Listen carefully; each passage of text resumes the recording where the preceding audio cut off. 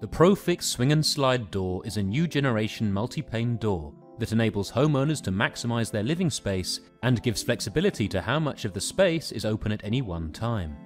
This revolutionary new door transforms ordinary rooms by opening up spaces between the home, conservatory or garden in a way no standard patio or bifold door can do.